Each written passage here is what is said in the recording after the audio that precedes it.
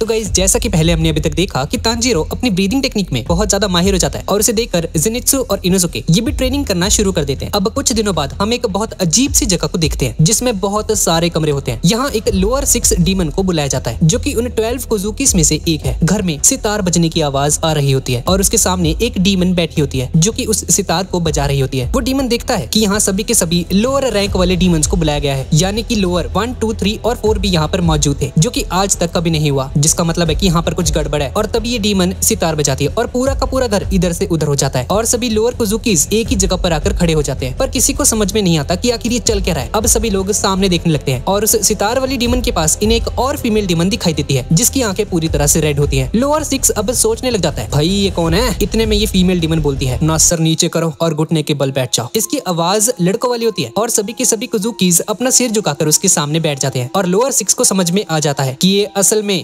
मोजान है, जिसने अपनी पहचान छुपाने के लिए एक औरत का फेस लिया हुआ है। यहाँ पर आई एक लोअर रैंक की किजुकी मुजान से माफ़ी मांगने लग जाती है। सॉरी हमें मालूम नहीं था कि आप हो, मास्टर। प्लीज़ हमें माफ़ कर दो। मुजान उसे चुप करते हुए बोलता है, जब तक तुम्हें बोला ना जाए, तब तक अपना मुँह बंद रखो। समझी तुम? तुम्हारी बातों से मुझे कोई फ़र्क नहीं पड़ता। तुम्हें बस मेरे सवालों का जवाब देना है। लोअर फाइव का डीमन ड्रोई मर चुका है और वह सभी से पूछता है, तुम सभी डीमन इतने कमज़ोर क्यों हो? तुम्हारा कुजुकी बनना काफ़ी नहीं है। और लोगों को मारो। ताकतवर बनो, तभी तुम मेरे किसी काम आ पाओगे। सालों से अपर के कुजुकीस वही के वही है। और ये लोअर रैंक के कुजुकीस हमेशा बदलते रहते हैं। तुम इतने कमज़ोर क्यों हो? और तभी लोअर सिक्स अपने मन में सोचता है, आपके लिए तो बोलना आसान है, पर सच तो ये है। और तभी मुजान सबके सामने बोलता है, सच तो ये है की क्या है सच? आगे बोल। लोअर सिक्स डीमन ये सुनकर डर जाता है, भाई, ये इसके मन की बातें पढ़ रहा है? और सोचता है शिट फंस गया मैं। और तभी मुजान गुस्से में उससे पूछता है, अपने शब्दों को पूरा करो। और मुजान गुस्से में आकर अपने एक हाथ को एक बड़े से सांप जैसा बना देता है। लोअर सिक्स मुजान से माफ़ी मांगने लग जाता है, लेकिन मुजान उसे उठाकर अपने हाथों से निगल लेता है। अब लोअर थ्री ये देकर डर जाता है और सोचता है, भाई, ये सब क्यों हो रहा है? जबकि उसने ट्वेल्व कुजुकी बनने के लिए इतनी मेहनत की है। क्या इसका भी यही हाल होने वाला है? और मुजान एक लोअर कुजुकी डीमन फोर से पूछता है, क्या तुम मुझसे ज़्यादा डीमन स्लेयर से डरती हो? लोअर फोर रोते हुए मना करने लग जाती है, लेकिन मुजान उसकी कोई भी बात नहीं सुनता और बोलता है, जब भी तुम्हारा सामना किसी डीमन स्लेयर या हाशिरा से होता है तो तुम्हारे दिमाग में सिर्फ़ भागने के थॉट्स आते हैं। लोअर फोर और भी ज़्यादा रोने लग जाती है और बोलती है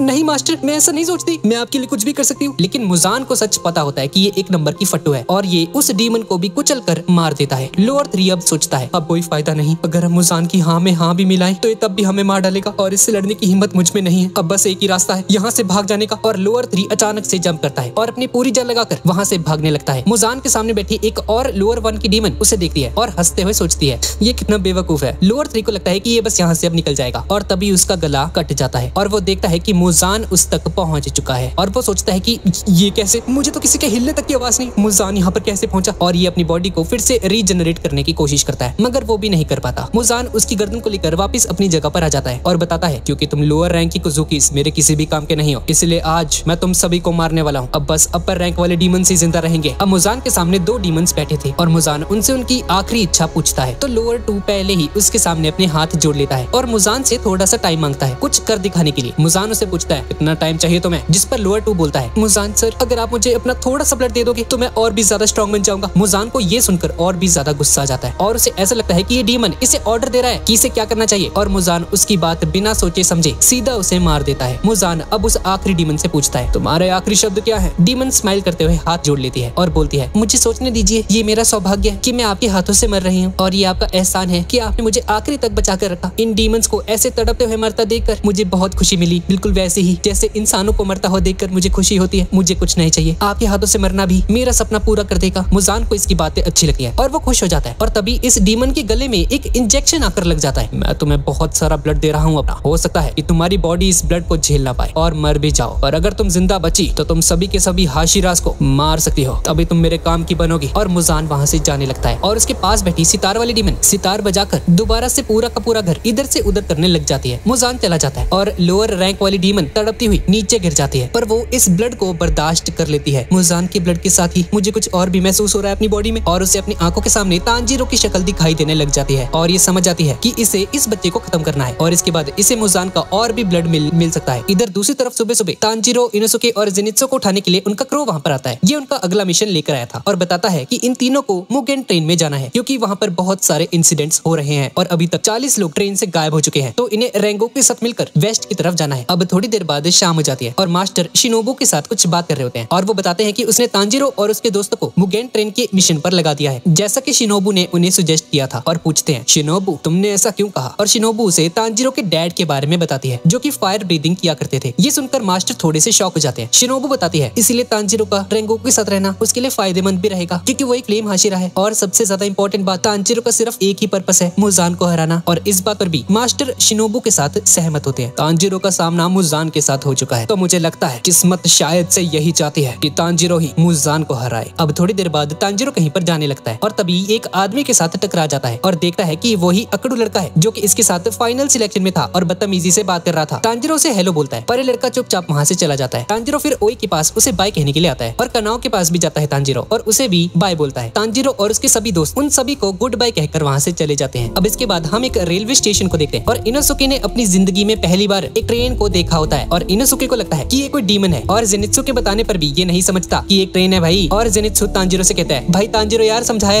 इसको थोड़ा और तांजिरो इनोसुके को बोलता है। हो सकता है कोई डीमन नहीं, बल्कि कोई एंजल हो, जिस पर जेनित्सु को पता चलता है कि तांजिरो भी एक नंबर का ढक्कन है। इसे भी कुछ नहीं पता ट्रेन के बारे में। इनोसुके अपने सिर से उस ट्रेन पर हमला कर देता है और पुलिस वहाँ पर आ जाती है इन्हें पकड़ने के लिए। ये क्या हरकतें कर रहे हो भाई तुम? और जेनित्सु इन दोनों को लेकर वहाँ से भागने लगता है और छुप जाते हैं तीनों। तभी ट्रेन चलने लग जाती है और तीनों को पकड़ना है उस ट्रेन को। पर अभी भी पुलिस स्टेशन पर इन्हें ढूंढ रही होती है। लेकिन इनोसुके भागकर ट्रेन के अंदर चढ़ जाता है। तांजिरो भी ऐसा ही करता है और जेनित्सु को भी अपने साथ ऊपर खींच लेते हैं और पुलिस उन्हें नहीं पकड़ पाती। इनोसुके पहली बार ट्रेन में आकर बहुत ज़्यादा खुश होता है। और जेनित्सु तांजिरो से पूछता है, तांजिरो, क्या नेजुको को इस सफ़र पर लाना सेफ़ रहेगा? पर तांजिरो से बोलता है, अब चाहे जो मर्ज़ी हो जाए, मैं नेजुको को कभी भी अपने से अलग नहीं करूँगा। ट्रेन के अंदर हम फ्लेम हाशिरा को बैठा हुआ देखते हैं और ये लोअर वन डीमन ट्रेन के ऊपर खड़ी होती है और अब ये तीनों रेंगोकू के पास पहुँच जाते हैं और देखते हैं कि ये दबाकर खाना खा रहा होता है। रेंगोकू तांजिरो को देखकर पहचान जाता है कि ये तो वही है भाई। तांजिरो उसे और अपने दोस्तों का नाम बताते हुए उसे बोलता है, हेलो सर, हम आपका साथ देने आए यहाँ पे। और तांजिरो रेंगोकू के पास आकर बैठ जाता है और उससे हिनोकामी के बारे में पूछता है, जिसका यूज़ करके उसने फायर ब्रीदिंग की थी। रेंगो को बोलता है, नहीं तांजिरो भाई, मैंने तो इसके बारे में आज तक कुछ नहीं सुना। ये सुनकर तांजिरो निराश हो जाता भाई, इसको नहीं पता होगा तो और किसे पता होगा? ये क्या ड्रामा है? रेंगोकू से बताता है फायर वाटर विंड स्ट्रॉम और थंडर ये फाइव फंडामेंटल एलिमेंट्स हैं ब्रीदिंग टेक्निक्स की। और बाकी सभी की सभी टेक्निक्स का जन्म इन्हीं पाँच फंडामेंटल एलिमेंट से हुआ है। और फिर रेंगोकू तांजिरो से उसकी तलवार का कलर पूछता है और तांजिरो से बोलता है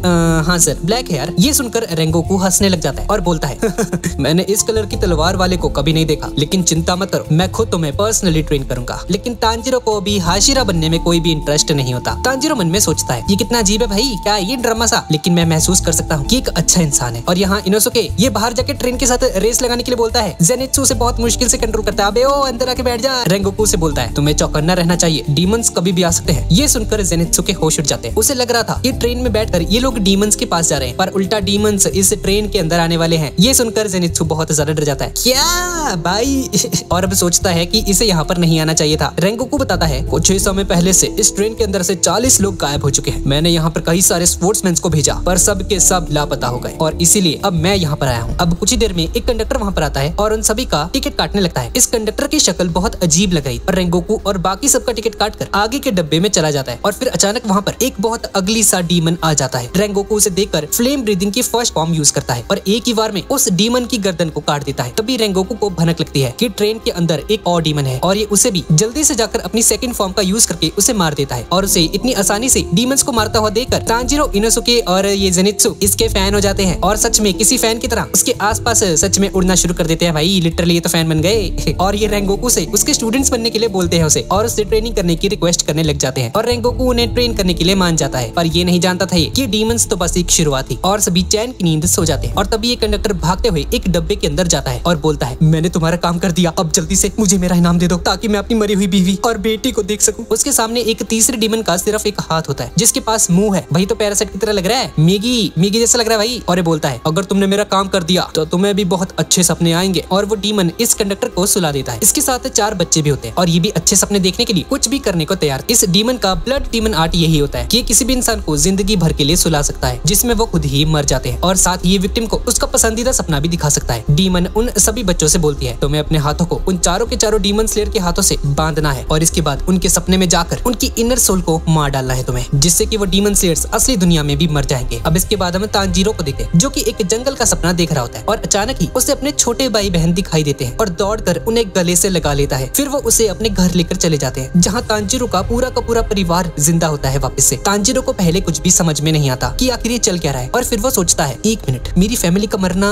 क्या ये सब कुछ एक सपना था? हकीकत क्या है? क्या ये सब कुछ ये भी चल रहा है? ये भी सपना है? पर इस सपने में अभी तक इसे नेजुको दिखाई नहीं दी और तभी मुगेन ट्रेन की छत के ऊपर हम उस लोअर वन डीमन एनमू को देखते हैं। और ये हाथ इसी डीमन का था और ये सपने यही दिखा रहा है सबको। और हमें पता चलता है कि इसका ब्लड डीमन आर्ट तभी से शुरू हो गया था, जब कंडक्टर ने इनकी टिकट को पंच किया था। उसके बाद से ही लोगों को नींद आने लग जाती है और सब के सब गहरे सपने में चले जाते हैं। तभी जेनित्सु सपना देखता है कि ये फूलों के गार्डन में नेजुको के साथ घूम रहा है और बहुत खुशी से अपनी ज़िंदगी को जी रहा है। और इनोसुके देखता है कि तांजिरो, जेनित्सु और नेजुको ये क्या बने हुए भाई? ये तीनों के तीनों इसके गुलाम बने हुए हैं और ये तीनों मिलकर एक गुफा के अंदर जाते हैं, जहाँ पर लॉर्ड इनोसुके इन तीनों को ऑर्डर देता है। ट्रेन मॉन्स्टर पर हमला करने के लिए भाई ये सुधरेगा नहीं, ये इनोसुके। रेंको को भी दूसरी तरफ़ अपने घर का सपना देख रहा होता है, जिसमें ये अपने डैड को बताता है की अब ये एक हाशिरा बन चुका है, लेकिन इसके डैड को कोई खुशी नहीं होती। उसके डैड बोलते हैं तो क्या हो गया? तुम अब भी निकम्मे ही हो। रेंको को बताता है की उसके डैड भी एक हाशिरा, पर एक दिन ये सब कुछ छोड़ छाड़ कर आ गए। इसे, इसका छोटा भाई भी दिखता है, जो उससे पूछता है भैया, पिताजी को खबर सुनकर कैसा लगा? एक दिन मैं भी आपकी तरह एक हाशिरा बनूँगा और पिताजी को मुझ पर भी गर्व होगा। रेंगोकू से बताता है कि फादर को ये खबर सुन के कोई भी खुशी नहीं हुई। लेकिन तुम निराश मत होना और वही करना जो तुम्हारा दिल चाहता है। और रियलिटी में तब तक एक लड़की अपना हाथ रेंगोकू के साथ जोड़ देती है और उसके सपने में आ जाती है और उसका दिल ढूँढने लग जाती है। एनमो की ये सपने की दुनिया बहुत छोटी होती है और एक चाकू की हेल्प से ये लड़की उस सपने से निकलकर रेंगोकू की इनर सोल में पहुँच जाती है, जहाँ चारों तरफ़ आग लगी हुई थी और इसे रेंगोकू का कोर मिल जाता है, जिसे डिस्ट्रॉय करते ही रेंगोकू की मौत हो जाएगी। ये लड़की उसे मार मारने वाली होती है कि तभी रेंगोकू उसका गला पकड़ लेता है। असल में रेंगोकू की सर्वाइवल इंस्टिंग होती है, ये इतनी ज़्यादा स्ट्रॉन्ग होती है। कि ये सोते हुए भी खुद की जान बचा सकता है। लेकिन ये अभी भी सपने से बाहर नहीं निकला था। और इस तरफ़ तांजिरो अपनी फैमिली के साथ दोबारा से जीना शुरू कर देता है। लेकिन कहीं भी नेजुको नहीं होती। और फिर ऐसे ही एक दिन तांजिरो पानी भरने के लिए जाता है नदी के किनारे। और तभी उसे पानी में अपनी परछाई नज़र आती है, जो कहती है, ये सब कुछ एक सपना है तांजिरो। जाग जाओ। तुम्हें हकीकत में वापस आना होगा। इससे तांजिरो को यकीन आ जाता है कि ये सब कुछ जो अभी चल रहा है, ये सब कुछ एक सपना है। पर इसे ये नहीं पता होता कि असलियत में कैसे वापस आएगा। और तभी नेजुको की नींद खुल जाती है और अपने बॉक्स से बाहर आती है। नेजुको बाहर आकर हालातों को देखती है। और तांजिरो को जगाने की कोशिश करती है पर तांजिरो नहीं जाता और नेजुको को गुस्सा आ जाता है और अपना सिर तांजिरो के सिर पर मारती है ज़ोर से जिससे कि नेजुको के सर से खून निकलने लग जाता है और ये रोने लग जाती है भाई कितनी क्यूट लग रही है ये और फिर नेजुको उस खून से ही फायर अटैक करती है और इस आग से सपने वाला तांजिरो अचानक से ही जलने लग जाता है और वो अपने डीमन स्लेयर वाले कपड़ों में आ जाता है उसकी फैमिली ये देखकर डर जाती है और उन्हें समझ में नहीं आता की आखिर चल क्या रहा है और तांजिरो उन सभी को गुड बाय कहकर वहाँ से जाने लगता है और घर से भाग जाता है और तभी उसे रास्ते में पहली बार नेजुको दिख जाती है और तांजिरो को रोकने की कोशिश करती है और उसकी पूरी की पूरी फैमिली भी वहाँ पर आ जाती है। तांजिरो उनसे बहुत दुखी होकर बोलता है, काश ये सब कुछ सच होता। काश मैं आप सबके साथ हमेशा रह पाता। अगर मैं उस दिन उस बुढ़े के घर नहीं सोया होता तो आप सभी लोग ज़िंदा होते। मैं यहीं पर अपना चारकोल तैयार करता और कभी किसी तलवार को हाथ भी नहीं लगाता। पर रियलिटी कुछ और है। इसलिए मैं रुक नहीं सकता यहाँ पर। मैं आप सभी को हमेशा याद रखूँगा। और तांजिरो दुखी होकर अपनी फैमिली को गुड बाय कहकर वहाँ से भाग जाता है। पर सपने से बाहर निकलने का रास्ता उसे नहीं मिल रहा था। और कुछ देर बाद उसे उसके डैड भी दिखाई देते हैं, जो कि उसकी हेल्प करने वहाँ पर आए होते हैं और बोलते हैं, बाहर निकलने के लिए अपनी तलवार को उठा लो बेटा और जाने का रास्ता तुम्हारे सबसे करीब है। और वहीं इसके पहले वो दूसरा बच्चा, जो कि तांजिरो के सपने में आया है, तांजिरो का दिल ढूंढ लेता है और उसका दिल इतना ज़्यादा सुंदर और पानी की तरह शांत है कि उसे यकीन नहीं होता। और इधर जिनित्सु और इनोसुके भी आसानी से उनके सपने में आए। दोनों बच्चों को ढूंढकर मारना शुरू कर देते हैं, क्योंकि वो अपना हसीन सपना तोड़ना नहीं चाहते थे। और ये बच्चे अपनी जान बचाकर उनसे भागते रहते हैं और अपने डैड की बात मानकर तांजिरो अपनी तलवार को उठाने के लिए आता है। तांजिरो दो सेकंड के लिए कुछ सोचता है और फिर उसे समझ में आता है कि बाहर कैसे निकलना है और काफ़ी ज़्यादा रिस्क लेकर तांजिरो अपनी तलवार से अपनी ही गर्दन को काट लेता है और रियलिटी में आ जाता है। वो देखता है की नेजुको के अलावा सब लोग सो रहे हैं और उसका और उसके साथियों के हाथ को कुछ बच्चों ने बाँध दिया है और तांजिरो समझ जाता है कि किसी डीमन का काम है। तांजिरो फिर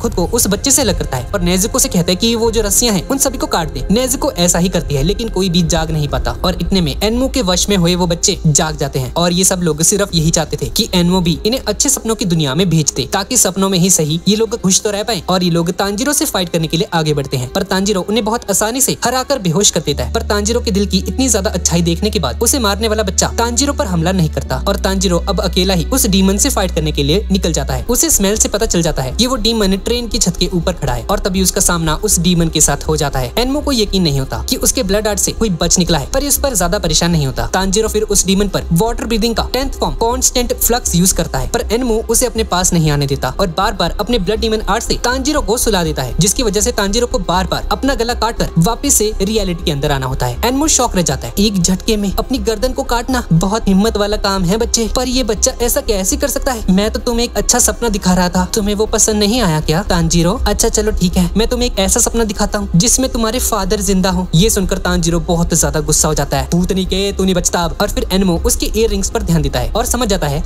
की मुजान ने इसे ही मारने को बोला था इसे। अब एनमो खुश होते हुए बोलता है, इसे मारने के बाद तो मास्टर मुजान से मुझे और भी ज़्यादा ब्लड मिल जाएगा। फिर मैं खुशी से अपर लेवल के डीमंस को हराकर कुजुकी डीमंस में सबसे ज़्यादा स्ट्रॉन्ग बन जाऊँगा। और फिर तांजिरो एनमो के पास आता है। और एनमो इस बार तांजिरो को एक नाइट मेयर दिखाता है, जिसमें उसकी फैमिली के मेंबर्स उसे कोस रहे थे कि तांजिरो उस दिन उस बुढ़े के घर क्यों सोया और अपने परिवार को अकेला छोड़कर क्यों गया? उसे अपनी फैमिली के साथ होना चाहिए था। लेकिन तांजिरो उस सपने से भी बाहर निकल आता है और बहुत गुस्से में एनमो का गला काट देता है। पर वो देखता है कि एनमो ने पहले ही अपनी पूरी की पूरी बॉडी को ट्रेन के साथ जोड़ लिया था, जिसकी वजह से एनमो का असली गला तांजिरो ने नहीं काटा। एनमो फिर वहाँ से पूरी की पूरी ट्रेन के अंदर खुद को फैलाना शुरू कर देता है। ताकि वो ट्रेन के एक एक इंसान को खा सके और तभी इनोसुके भी जाग जाता है और ये भी ट्रेन के ऊपर आ जाता है। तांजिरो से बोलता है, इनोसुके, ये पूरी की पूरी ट्रेन अब डीमन बन चुकी है। हमें लोगों को बचाना होगा, जिस पर इनोसुके बोलता है। मुझे पहले से पता था, लेकिन तुमने लॉर्ड इनोसुके की बात नहीं सुनी? ये सब तुम्हारी गलती है। और इनोसुके उस डीमन को लोगों को खाने से रोकने लगता है। इधर नेजुको भी अपने डीमन फॉर्म में आकर ट्रेन में फंसे उन लोगों को बचाने लगती है। लेकिन एनमो के टेंटिकल्स नेजुको को पकड़ लेते हैं और तभी जेनित्सु भी अपने नींद वाले खतरनाक फॉर्म में आ जाता है और नेजुको को बचा लेता है और बाकी के लोगों को भी बचा लेता है। और नेजुको भी उसका पूरा साथ देती है पर ये सब मिलकर कितनी भी कोशिश कर ले, एनमो दोबारा से रीजनरेट हो जाता है, जिससे कि ये लोग उसे एक खरोंच तक नहीं पहुँचा पाते। अब उम्मीद खत्म होने पर रेंगोकू अपनी नींद से बाहर आता है और रेंगोकू अपनी फायर वाली टेक्निक का यूज़ करता है एनमू पर, जिससे कि एनमू को थोड़ा सा डैमेज होता है और कुछ देर के लिए वो रीजनरेट होना बंद कर देता है और रेंगोकू बताता है, तांजिरो, एनमू का गला इस ट्रेन का हिस्सा है और सिर्फ़ तुम दोनों ही मतलब की तांजिरो और इनोसुके उसका गला काट सकते हो। तब तक मैं इस ट्रेन में लोगों को बचाऊँगा और जिनित्सु और नेजुको बाकी के तीन डब्बों को संभाल लेंगे। अब ये दोनों के दोनों डीमन स्लेयर्स ट्रेन के ऊपर आते हैं। और इस लॉर्ड इनोसुके ने अपनी ब्रीदिंग टेक्निक का यूज़ करके पहले ही पता लगा लिया था कि इस डीमन का सिर कहाँ पर है। और इस डीमन का सिर ट्रेन के इंजन के अंदर होता है। ये लोग किसी भी तरह वहाँ पर पहुँचते हैं, लेकिन एनमो बार बार इन पर अटैक करता रहता है। यहाँ पर एक ड्राइवर भी होता है, जिसे तांजिरो एक सेफ़ जगह पर पहुँचा देता है। एनमो अपनी सैकड़ों आँखों से तांजिरो को सुला देता है। तांजिरो नींद से बाहर आने के लिए बार बार अपना गला काटता रहता है। पर एक टाइम ऐसा आ जाता है कि उसे सपने और असलियत में फ़र्क ही पता नहीं चलता। और ये सच में रियलिटी में अपने गले को काटने वाला होता है। पर किस्मत से इनोसुके उसे रोक लेता है। उन्हें समझ आता है कि इनोसुके ने जो मास्क पहना है, उसकी आँखें उल्टी पुल्टी हैं। इसीलिए डीमन का असर इनोसुके पर नहीं हो पा रहा है। उसे पता ही नहीं चल रहा कि इनोसुके कहाँ पर देख रहा है। इतने में वो ड्राइवर, जो कि असल में उस डीमन के साथ मिला हुआ है, वो इनोसुके पर एक स्क्रू ड्राइवर से हमला करने के लिए आगे बढ़ता है। पर इनोसुके को बचा लेता है तांजिरो, और स्क्रू ड्राइवर से बहुत घायल हो जाता है, और उस आदमी को वहाँ से हटा देता है। और फिर वो बहुत मुश्किल से लड़कर, डीमन को मार मार कर उसके गले तक पहुँचता है। और आखिर में ये दोनों अपनी कंसंट्रेशन टेक्निक को यूज़ करते हैं, एक साथ अप्लाई करते हैं। इनोसुके बीस्ट ब्रीदिंग के फोर्थ फॉर्म को यूज़ करके उस जगह को साफ़ करता है और फिर तांजिरो, हिनोकामी यूज़ करता है और उस डीमन के गले की हड्डी को काट देता है। लेकिन मरने से पहले ये डीमन उन सभी के सभी पैसेंजर्स का गला दबाकर उन्हें मारने की कोशिश करता है। लेकिन रेंगो को ऐसा नहीं होने देता। डीमन के मरने की वजह से ट्रेन पटरी से उतर जाती है। तांजिरो की हालत बहुत ज़्यादा खराब हो जाती है। फिर भी ये बाकी के लोगों को बचाने के बारे में सोचता है और थोड़ी देर बाद ट्रेन पलट कर रुक जाती है और इनोसुके तांजिरो को उठाने आता है। तांजिरो इनोसुके से उस ड्राइवर की हेल्प करने के लिए बोलता है। इनोसुके साफ़ मना करते हुए बोलता है, उसका एक पैर ट्रेन से कट चुका है, मरने दो से जिस पर तांजिरो बोलता है। मतलब उसे अपनी पापों की सजा मिल गई, है? चल ठीक है यार, मेरी खातिर जाकर उसकी हेल्प कर दे एक बार प्लीज़ और जेनित्सु, रेंगोकू, ये सभी के सभी मिलकर, सभी के सभी पैसेंजर्स को ट्रेन से बाहर निकालते हैं और सभी को बचा लेते हैं। एनमो मरते हुए सोचता है कि अब मैं सच में मरने वाला हूँ। ये कितना बुरा हुआ। मैं तो आज एक इंसान को भी नहीं मार पाया। ये सब कुछ इन डीमन स्लेयर्स की वजह से हुआ। खासकर ये तांजीरो, अगर मुझमें थोड़ी सी भी ताकत बची होती तो इसे अभी जान से मार देता। ये कितना बुरा सपना है। अपर रैंक के डीमंस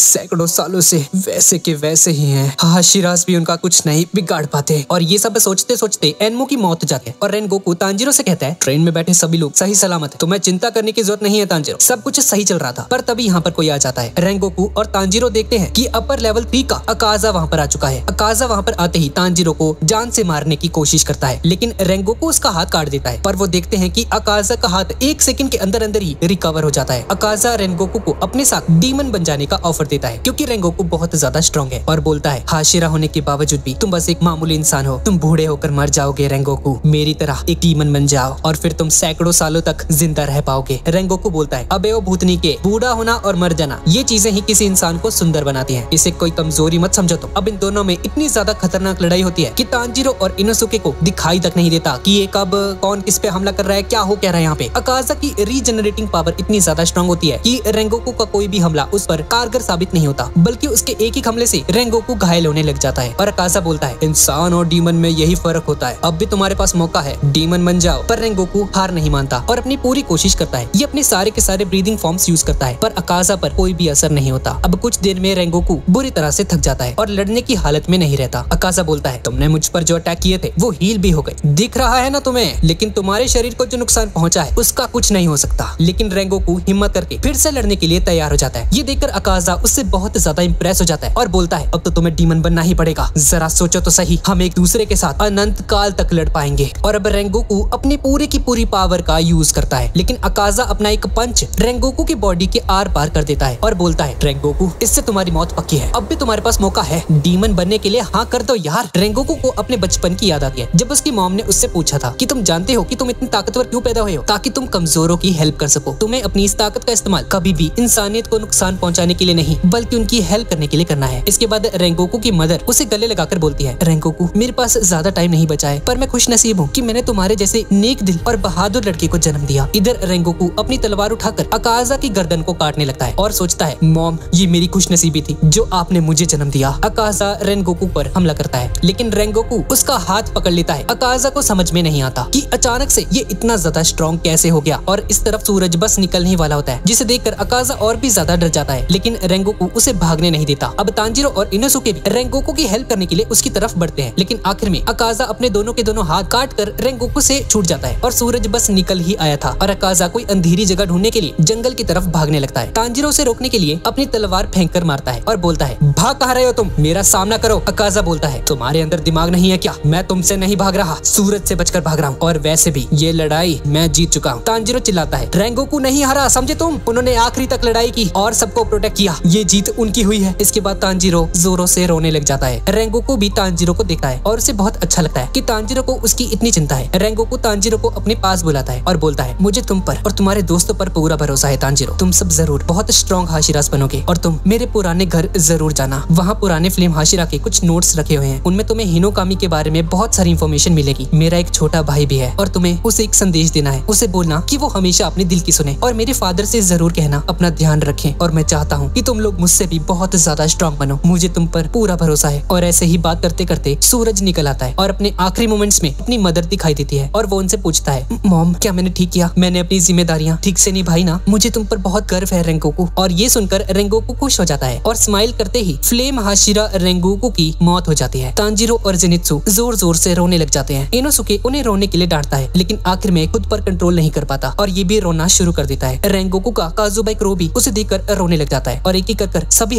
हाशिरास इस खबर को सुनते हैं कि रेंगोकू की मौत हो चुकी है। मास्टर ये खबर सुनकर बोलते हैं, उसने बहुत अच्छा काम किया। मुझे उस पर गर्व है और उसने एक भी इंसान की जान नहीं जाने दी। और इस सीरीज़ का फिफ्थ पार्ट यहीं पे खत्म हो जाता है। तो गाइज़ यही थी आज की वीडियो और इसका अगला पार्ट एक दो दिन में आ जाएगा। और गाइज़ इसे जल्दी जल्दी से खत्म करके मैं इसका फोर्थ सीज़न भी बहुत जल्दी ही कवर करने वाला हूँ। और अगर आपको ये वाली वीडियो अच्छी लगी तो प्लीज़ इसे लाइक ज़रूर कर देना और कॉमेंट भी ज़रूर कर देना। तो ठीक है गाइज़ जरा मिलते हैं अगली वीडियो